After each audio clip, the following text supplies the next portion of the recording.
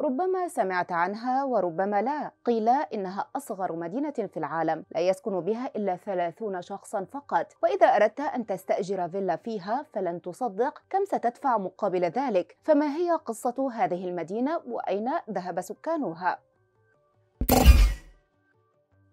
على بعد ساعات قليلة من المملكة المتحدة وتحديدا في كرواتيا تقع أصغر مدينة في العالم وذلك بحسب موسوعة جينيس للأرقام القياسية حيث يعيش ثلاثون شخصا هناك ويوجد شارعان فقط بها. حوالي ثلاثة صفوف من المنازل وتسمى مدينة هوم الواقعة إداريا في بلدة بوزيت في الجزء الأوسط من استراليا شمال غرب كرواتيا. ولا تزال تصنف على أنها بلدة على الرغم من كونها مماثلة لحجم القرية. القرية حيث يبلغ طولها 100 متر وعرضها 30 مترا فقط. ويعود تاريخ المدينة إلى القرن الحادي عشر تحتوي على برج من القرن السادس عشر وكنيسة من القرن التاسع عشر إلى جانب صفوف المنازل. وتعرف المدينة أيضا باسم بلدة الكماء وهو فطر بري موسمي ينمو في الصحراء بعد سقوط الأمطار بعمق 5 إلى 15 سنتيمتر تحت الأرض ويستخدم كطعام. وتقول أسطورة المدينة إن العمالقة عندما قاموا ببناء وادي نهر ميرنا القريب استخدموا الحجارة المتبقية لبناء المدينة وعندما نفدت منهم لم يتمكنوا من جعلها أكبر. ويصفها السائحون بأنها بلدة ساحرة. ويمكنك حجز أحد البيوت لقضاء عطلة في المدينة إذا كنت ترغب في الإقامة حيث تبلغ أسعار الغرف الخاصة وتبدأ من حوالي 33 جنيها استرلينيا في الليل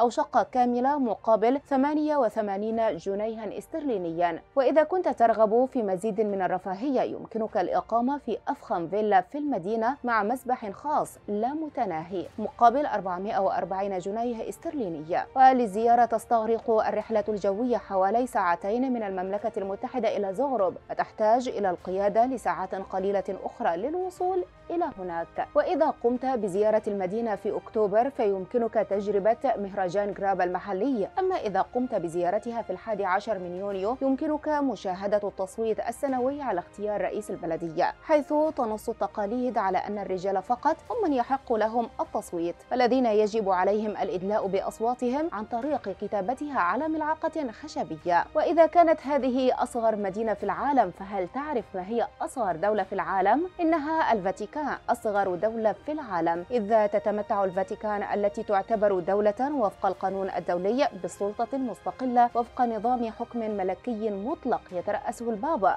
تبلغ مساحتها نصف كيلومتر مربع تقريبا. وللفاتيكان جواز سفر وطوابع بريد ولوحات سيارات وعلم ونشيد خاص بها. وكانت الحكومة الإيطالية والكنيسة في العام 1929 وقعا اتفاقية تم بموجبها الاعتراف بالفاتيكان دولة مستقلة ومنحت الدولة الكنيسة تعويضا ماليا عن المناطق التي أصبحت تحت سيطرتها. ويبلغ عدد السكان الحاملين لجنسية دولة الفاتيكان حوالي 600 شخص وفق إحصائيات العام 2011 ويعيش معظمهم خارج البلاد ويعملون في مناصب كنسية في عدة دول بالعالم.